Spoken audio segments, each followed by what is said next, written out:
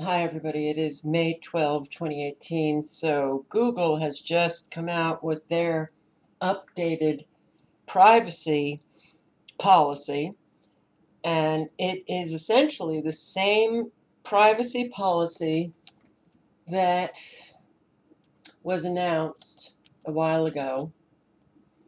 Oath, the media division of Verizon that runs both AOL and Yahoo is finally unifying the privacy policy of its two giant legacy internet brands. Well, the privacy policy, the merger of the privacy policies between Oath, the media division of Verizon, Verizon, all of Yahoo's services and AOL's and other companies that use Oath services. Their privacy policies merged. And I did a video on this, and I looked on both of my channels, my backup channel, this channel, and I cannot find that video. But I went through the privacy policy, showing you that nothing, nothing at all is private. They read your emails. They can use the information how they so wish. And the privacy policy, AOL, Yahoo, Verizon, just like most corporations now, this is ubiquitous in most industries. They mandate arbitration, taking away your right to sue in court, taking away your right to file suit in court and have that suit be heard by a judge or a jury. And I've posted videos on mandated arbitration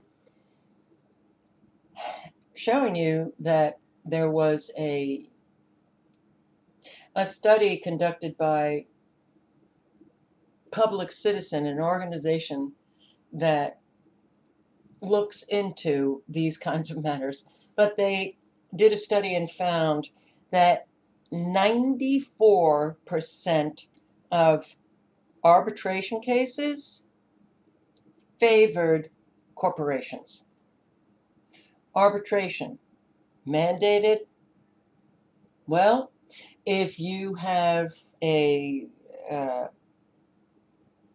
if you have a problem with Yahoo or AOL, if you have a problem with any of their products, Verizon products,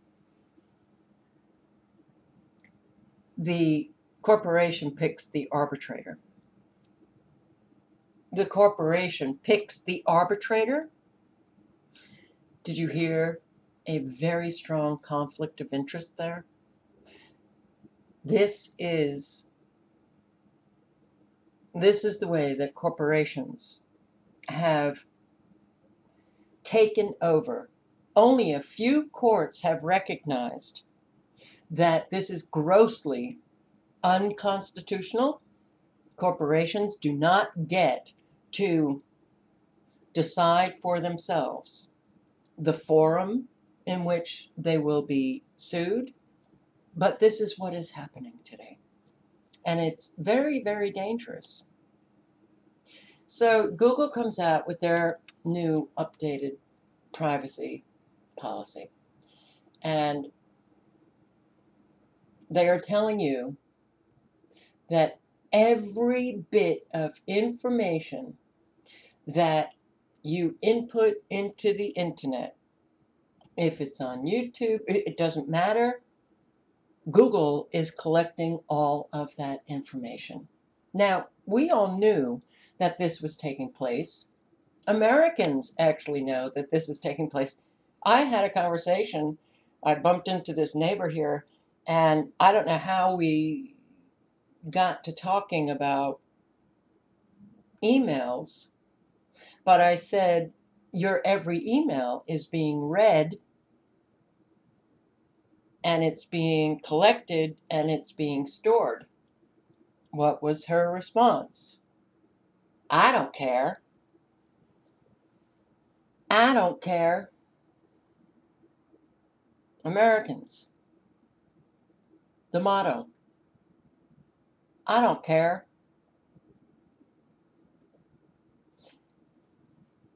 Can you see that this is important? Can you see that this is manifesting a completely different world than the world that we had prior to this technology?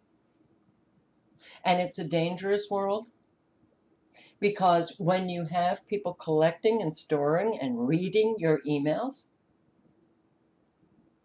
all of the information. So if I send an email to someone, it's not just my email that they are collecting the information that I've put into that email, but they know who is receiving that email. And then they read the response. And they're making profiles on every individual. And should they want to use that information at a later date, they have it, they can use it. Think about pre crime. Pre crime. If you're writing an email or posting a video or whatever it is that you're doing on the internet, the pre crime analytics, I believe, is already functioning. So let's say that you're writing an email to someone, and in that email, you may say something that is taken completely out of context. And suddenly you have the police knocking on your door. Oh, wait a second, this has happened already. They're showing you the world that is manifesting. They are telling everyone exactly the information that they're collecting on everyone and they're collecting it from apps and all products.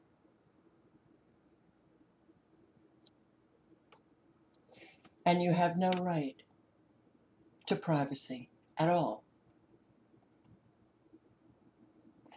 Why would all of these companies update their privacy policies? And these privacy policies are essentially the same and come out and tell Americans and people all over the world everything that you thought we were doing. Well, you were right. We are doing it.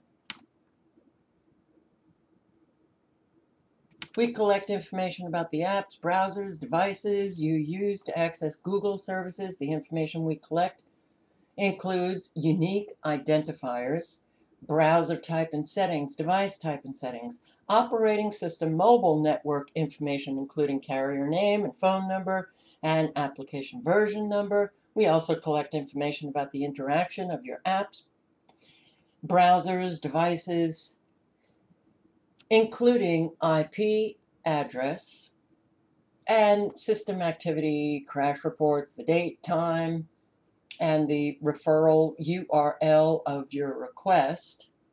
We also collect the content you create, upload, or receive from others when using our services. This includes things like email you write and receive, photos and videos you save, docs, and spreadsheets you create, comments you make on YouTube videos. They can come out now and disclose everything that they have been doing. They can now put it in print because they know that the American people don't care. Don't care. We're collecting your every email, those you write, those you receive. We collect information about your activity in our services, which we use to do things like recommend a YouTube video. The activity information we collect, terms you search for, videos you watch, views and interactions with content and ads, voice and audio information when you use audio features, purchase activity, people with whom you communicate or share content with, activity on third party sites and apps that you use, our services, Chrome browsing history. If you use our services to make and receive calls or send and receive messages, we may collect telephony log information like your phone number, calling party, receiving party number, forwarding numbers, time and date of calls and messages, duration of calls, routing information, and types of calls. And you cannot tell me that they're not also recording everything that you say Why can't Americans see how dangerous this is? We collect information about your location. Your location can be determined from GPS, IP address, sensor data from your devices, information about things near your device, such as Wi Fi access points, cell towers, Bluetooth enabled devices. Right here, they're telling everybody, we got you.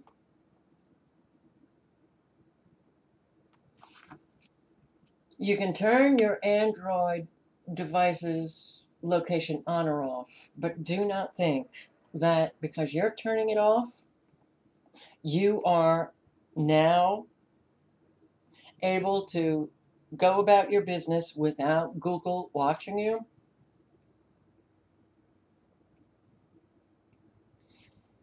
Well,